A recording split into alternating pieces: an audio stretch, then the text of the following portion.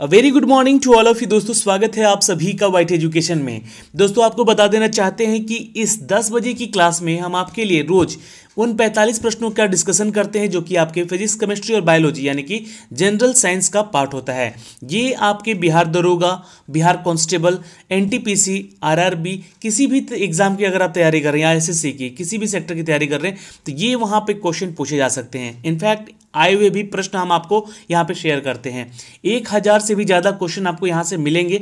अभी तक, यानी कि छठा दिन है आज यहाँ पे तो अभी तक लगभग आपको 200 कुछ क्वेश्चन मिल चुके हैं यहाँ पे। ठीक है? तो 45 क्वेश्चन का सिनेरियो आपको दिया जा रहा है यहाँ पे दोस्तों। तो 200 से भी ज़्यादा प्रश्न मिल चुके हैं। अभी एक हज़ार बाकी है क्वेश्चन है ना? लगभग आठ सौ क्वेश्चन बाकी है। तो आप लोग भी इस क्यूज़ को अटेंड करें रेगुलर हमारे साथ बनिए। एक भी क्वेश्चन छूटना नहीं चाहिए एग्ज़ाम में, ये हम अपनी तरफ़ से पूरी कोशिश करते हैं। तो आप भी हमारा सहयोग कीजिए और हमारे साथ जुड़िए और अपने दोस्तों को इस वीडियो को शेयर कीजिएगा। चलिए शुरुआत करते हैं इस टेस्ट का और देखते हैं कि आप लोग कितना उत्तर सही कर पाते हैं यहाँ पे। अब सामान्य विज्ञान से कोई भी कठिन प्रश्न नहीं रह पाएगा। दोस्तों, अगर आप हमारे चैनल पर नए हैं तो आपसे रिक्वेस्ट है कि प्लीज़ चैनल पे जाएँ सब्सक्राइब के इस रेड कलर के बटन को दबाएँ चैनल को सब्सक्राइब करें बेल आइकन दबा लीजिएगा, ताकि हर एक वीडियो का नोटिफिकेशन अब तक सबसे पहले हमारे चैनल के माध्यम से जा सके। दोस्तों, एक स्टैटिक जीके का part Khelo India youth games ये आपको बीस क्वेश्चन दिया गया है। देख लीजिएगा इस वीडियो को स्टैटिक पार्ट है। डिस्क्रिप्शन के साथ दिया गया है और रोज़ सुबह के करेंट अफेयर की क्लास ज़रूर अटेंड करें। सुबह के छः बजे ये क्लास दी जाती है आपको। जी हाँ अगर आपने अटेंड नहीं किया है तो जाइए अटेंड करें, अभी भी समय है और शाम को सात बजे ये आपको वीडियो मिलता है बिहार दरोगा का मॉक टेस्ट तो इस वीडियो को भी ज़रूर अटेंड करेंगे आप लोग। इसका दोस्तों पीडीएफ मैं आपको वाइट एजुकेशन के टेलीग्राम पे शेयर कर दूँगा तो वहाँ से आप इसको डाउनलोड कर लीजिएगा। आज का पहला प्रश्न ये रहा आपके सामने कि प्रकाश की तीव्रता नापने के लिए जिस उपकरण का उपयोग होता है उसे हम क्या कहते हैं? तीन सेकेंड का टाइम देता हूँ आपको यहाँ पे। जल्दी से उत्तर कीजिएगा, अगर आप यहाँ पे उत्तर करना चाहते हैं तो। क्यूज को अटेंड करें, एक भी क्वेश्चन ना छोड़ें। बिल्कुल, अगर आप यहाँ पे उत्तर कर रहे हैं दोस्तों, देखिए नोट कर लीजिएगा यहाँ पे। बिल्कुल, उत्तर कीजिएगा, लक्स मीटर। जी हाँ क्या कहते हैं इसको? Lux meter. प्रकाश की तीव्रता नापने का एक उपकरण है, जिसको हम लोग लक्स मीटर कहते हैं, जबकि कोलोरीमीटर जो होता है, एक प्रकाश का सुग्राही उपकरण होता है, जो कि किसी पदार्थ का द्वारा अवशोषित किए गए जाने वाले रंग को मापता है। सपोज़ मान लो आपके पास एक टी शर्ट है, वो ब्लैक कलर का है। तो वो कितना आपका जो ब्लैक कलर का है, जो कितना प्रकाश को अवशोषित करता है, ये हम किससे माप सकते हैं? तो कोलोरी मीटर से, ठीक है? याद रखेंगे। लेकिन प्रकाश की तीव्रता नापने वाला उपकरण कौन है? तो लक्स मीटर। अगला प्रश्न देखेंगे, रडार उपयोग में आता है। दोस्तों थोड़ा सा जूम कर लेते हैं यहाँ पे। रडार उपयोग में आता है। किस उपयोग में आता है दोस्तों? देखिए, ये क्वेश्चन बहुत बार पूछा गया एग्ज़ाम में। यूपी पीएससी के एग्ज़ाम में पूछा गया बीपीएससी में पूछा गया है। इनफैक्ट बिहार दरोगा में भी पूछा गया है। तो ये आंसर करिएगा दोस्तों इट्स अ सी रेडियो तरंगों के द्वारा वस्तुओं की स्थिति को ज्ञात करने में हम लोग रडार का उपयोग करते हैं। ठीक है? नोट कर लीजिएगा दोस्तों, रडार जो है, शब्द जो है, मूलतः संक्षिप्त रूप है और इसका फुल फॉर्म होता है radio detection and ranging. Note कर लेंगे क्या होता है? Radio detection and ranging. ठीक है? चलिए, अगला क्वेश्चन है दोस्तों, यहाँ पे निम्नलिखित में से कौन सी राशि रिएक्टर पैमाने पर मापी जाती है? बिल्कुल रिएक्टर पैमाने पर मापी जाने वाली है भूकंप की तीव्रता। ठीक है? याद रखिएगा, ये भी क्वेश्चन एग्ज़ाम में पूछा गया है और भूकंप की तीव्रता को मापने वाला एक पैमाना है ये। यह एक कह सकते हैं लॉगरिथमिक स्केल है ये। ठीक है? जिसमें कि एक से लेकर नौ तक के बराबर बटा हुआ है पैमाना। और रिएक्टर स्केल के रूप में इसको हम लोग जानते हैं, जो कि दस गुने परिमाण को बताती है ये। ठीक है? अगला प्रश्न है दोस्तों, भूकंप की तीव्रता का मापन किया जाता है। चलिए आंसर करेंगे दोस्तों, अभी मैंने बताया इसका उत्तर। ठीक है, आंसर करेंगे रिएक्टर के पैमाने पर। रिएक्टर पैमाना मापने के लिए प्रयोग किया होता है। तो देखिए, ये भी उत्तर आप कर चुके हैं भूकंपीय लहरों को आयाम के लिए। दोस्तों, जितने भी क्वेश्चन यहाँ पे मैं दे रहा हूँ, ये क्वेश्चन अगर सेम भी मिलते हैं तो ऐसा मत सोचिएगा कि रिपीट है क्वेश्चन नहीं, ऐसे क्वेश्चन आपसे पूछे गए हैं, वही क्वेश्चन को घुमा कर पूछा गया है। तो इसलिए आप लोग इसका उत्तर ज़रूर करेंगे, ताकि क्वेश्चन आपको समझ में आ सके। भूकंपों की भूकंपों की तीव्रता मापी जाती है। बिल्कुल रिएक्टर के पैमाने पे। देखिए, चौथा क्वेश्चन भी वही है, लेकिन पूछने का तरीका अलग है। ठीक है दोस्तों, अगला क्वेश्चन है कि कौन सी सुमिलित सही नहीं है? उत्तर कीजिएगा यहाँ पे। जो रिएक्टर पैमाना है, ये आपको क्या हो गया? सही नहीं है। यहाँ पे भूकंप होना चाहिए था। आंसर डी गलत है। अगला क्वेश्चन दोस्तों, यहाँ पे ताप में निम्नलिखित में से किस पैमाने में ऋणात्मक मान नहीं होता है? ताप में निम्नलिखित में से किस पैमाने पर ऋणात्मक मान नहीं होता है निगेटिविटी नहीं होती है। तो आंसर करेंगे दोस्तों इट्स अ केल्विन ठीक है? सेल्सियस फॉरेन और र्यूमर पैमाने का मान ऋणात्मक होता है, जबकि केल्विन पैमाने का ऋणात्मक मान नहीं होता है। तो यहाँ पे क्वेश्चन में नहीं बोला गया है। अगला क्वेश्चन है दोस्तों, निम्नलिखित में से भूकंप मापी यंत्र कौन सा है? तो भूकंप को मापने वाला यंत्र कौन सा यहाँ पे? तो आंसर कर देंगे सिस्मोग्राफ। आप भी उत्तर कीजिए यहाँ पे, अगर आप चाहते हैं यहाँ पे उत्तर करना तो सिस्मोग्राफ जो होता है दोस्तों, भूकंपीय तीव्रता को मापने वाला एक यंत्र है और कैस्कोग्राफ जो होता है, वो पौधों में वृद्धि मापने वाला यंत्र है। ठीक है? ये जो है कैस्कोग्राफ, ये जो है ऑप्शन, ये पौधों में जो वृद्धि होती है, उसको मापने का एक यंत्र होता है। ठीक है? जिसका आविष्कार भारतीय वैज्ञानिक जगदीश चंद्र बोस ने किया था उन्नीस सौ ईस्वी में। ठीक है? याद रखिएगा। अगला प्रश्न है दोस्तों कि भूकंप की तीव्रता किससे मापी जाती है? देखिए, अभी बता दिया मैंने आपको, सिस्मोग्राफ से आंसर कर लीजिएगा डी यहाँ पे। अगला क्वेश्चन निम्नलिखित में से युवतियों, माफ़ कीजिएगा, निम्नलिखित युक्तियों में से किसके द्वारा भूकंप की तीव्रता मापी जाती है? तो सिस्मोग्राफ के द्वारा, ठीक है? देखिए, क्वेश्चन वही है, लेकिन पैटर्न जो है पूछने का तरीका अलग है यहाँ पे। सिस्मोग्राफ का क्या रिकॉर्ड करता है? तो भूकंप या भूचाल कह सकते हैं इसको। आंसर हमारा सी हो जाएगा दोस्तों यहाँ पे। ठीक है? चलिए। सुमिलित कीजिए इसको एक बार फिर से। तो सुमिलित करने वाला बहुत क्वेश्चन पूछता है एग्ज़ाम में और बिहार दुर्गा के मेंस में तो खासकर ये पूछे ही जाएँगे। ऐसे ही प्रश्न रहेंगे, यहीं से प्रश्न रहेंगे। इससे क्वेश्चन अलग हो ही नहीं सकता है। सारा चैप्टर वाइज आपको करा रहा हूँ यहाँ पे। बिहार दुर्गा के मेंस में आपके सारे काम आएँगे। इनफैक्ट एनटीपीसी में भी आपके काम आएँगे ये सारे क्वेश्चन एसएससी में भी काम आएँगे। तो सभी क्वेश्चन का आंसर आप लोग खुद से दीजिए और याद रखिएगा। पीडीएफ पढ़ते रहिएगा आप एटलीस्ट ठीक है आंसर यहाँ पे दोस्तों हो जाएगा। जी हाँ नोट कर लीजिएगा। भूकंप मापते हैं सिस्मोग्राफ से, बिल्कुल ऊंचाई मापते हैं हम लोग दोस्तों, अल्टीमीटर से। विद्युत धारा मापते हैं हम लोग किससे दोस्तों? तो एमीटर में, और प्रतिरोध हम ओम से यहाँ पे मापते हैं। तो आंसर आपका क्या हो जाएगा? ए ही हो जाएगा। दो, तीन, एक, चार, ये कूट आपका ए हो जाएगा। अगला क्वेश्चन है, ये भी सुमिलित करना है, देखिए। फैदोमीटर। बिल्कुल यहाँ पे आंसर मिलाइएगा थोड़ा सा आप लोग। बिल्कुल, देखिए, फैदोमीटर जो है, ये मिलेगा समुद्र की गहराई से, बिल्कुल सही है। बैरोमीटर वायुमंडलीय दाब से, प्रेशर से, हाइग्रोमीटर किससे मिलेगा दोस्तों? तो ये मिलेगा दोस्तों वायुमंडलीय आर्द्रता से और अल्टीमीटर तो ऊंचाई से। ठीक, अभी मैंने बताया अल्टीमीटर का। तो यहाँ पे आंसर क्या कर देंगे? दोस्तों आपका बी, चार, एक, दो, तीन। अगला क्वेश्चन है दोस्तों यहाँ पे कि फैदोमीटर का उपयोग किस लिए मापने में होता है? अभी मैंने बताया, आंसर कीजिए जल्दी से। बिल्कुल, समुद्र की गहराई मापने में होता है। अगला क्वेश्चन देखते हैं दोस्तों यहाँ पे कि डॉक्टर कलाकार एवं मूर्तिकार कैल्शियम सल्फेट का उपयोग करते हैं, जिसका लोकप्रिय नाम है। तो ये क्वेश्चन थोड़ा आ गया है केमिस्ट्री से। आंसर करिएगा दोस्तों, जल्दी सोच समझ के लेकिन आंसर करना है आपको यहाँ पे, ठीक है? बिल्कुल, आपको एक भी क्वेश्चन छोड़ना नहीं यहाँ से और सोच समझ के सभी उत्तरों का यहाँ पे आंसर करना है आपको।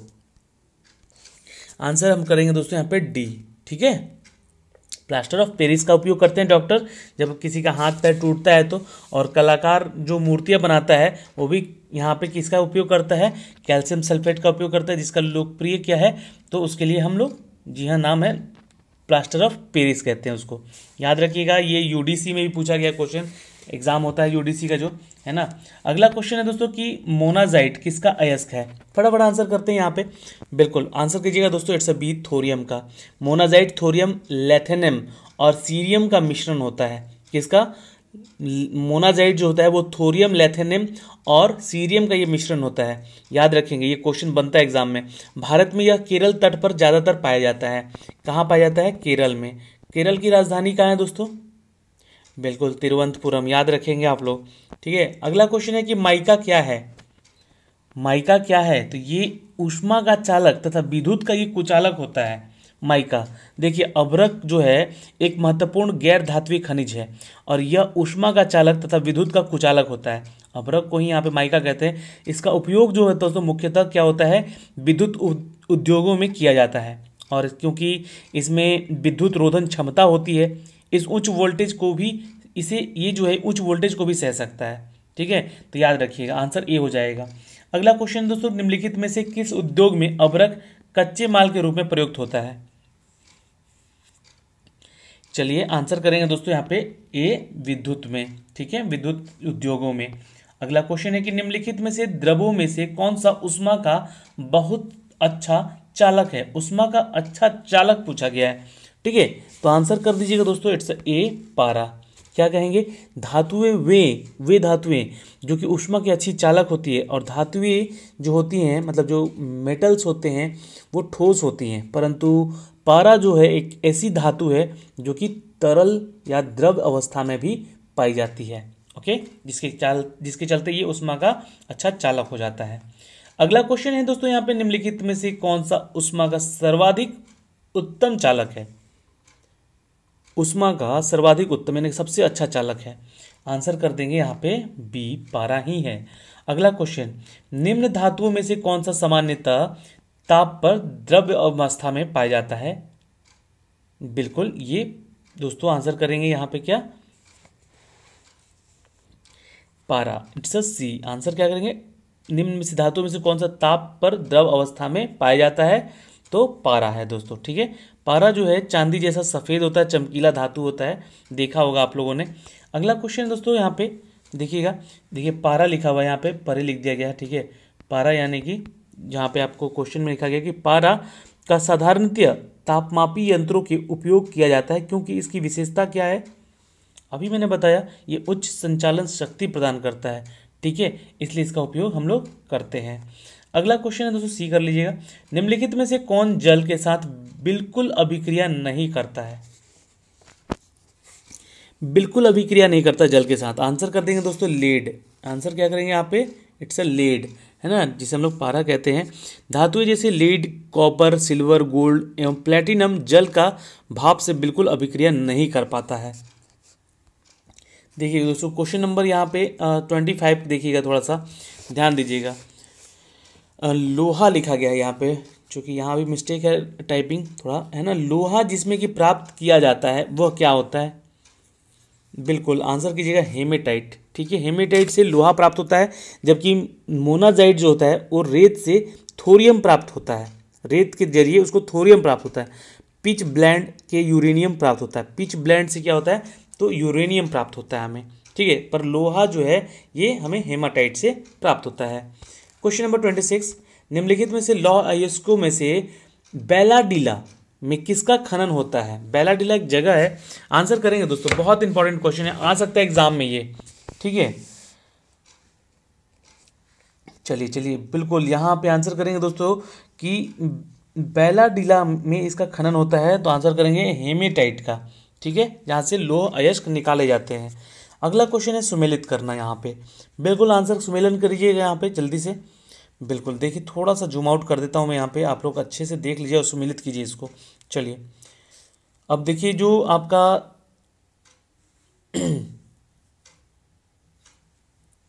बिल्कुल। उष्मा एवं बुधुत का सर्वोत्तम संचालन होता है चांदी के द्वारा। ठीक? उसके अलावा सबसे अधिक मात्रा में पाई जाने वाली धातु कौन सी है दोस्तों? तो एल्मोनियम है। सबसे अधिक लचीली तथा पीट कर बढ़ाई जाने वाली धातु कौन सी है इसमें? तो स्वर्ण यानी कि सोना है। उष्मा का न्यूनतम संचालक तो सीसा है। ठीक है? याद रखिएगा, ये आपका सुमिलन सही है। चार तीन एक दो, चार तीन एक दो, ध्यान रखिएगा। ये क्वेश्चन पूछा गया आपके बीपीएससी में और बिहार दरोगा में भी पूछा गया। सेम क्वेश्चन ठीक है? तो याद रखिएगा आंसर आपका डी हो जाएगा। चार तीन एक दो। अगला क्वेश्चन देखते हैं दोस्तों यहाँ पे कि निम्नलिखित में से किस पदार्थ की विद्युत चालकता सर्वाधिक होती है? बिल्कुल आंसर कर दीजिएगा दोस्तों, यहाँ पे बी चांदी की, ठीक है? अभी मैंने बताया ऊपर में। एल्युमिनियम बनाने के लिए कौन से मुख्य खनिज का प्रयोग होता है? बिल्कुल आंसर, अगर आपका बॉक्साइट आ रहा है तो आप बिल्कुल उत्तर सही कर रहे हैं। और ये क्वेश्चन पूछा गया है आपके एग्ज़ाम में। बॉक्साइट का फॉर्मूला क्या होता है दोस्तों? ये देखिए A L two O three two S two O ये इसका फॉर्मूला होता है, ठीक है? ये मुख्य मुख्य अयस्क होता है एक्चुअली एल्युमिनियम का। और ये हमें बॉक्साइट से खनिज जो है प्राप्त होते हैं, ठीक है? अल्मोनियम बनाने की अल्मोनियम बनाने के लिए मुख्य खनिज का प्रयोग होता है बॉक्साइट से।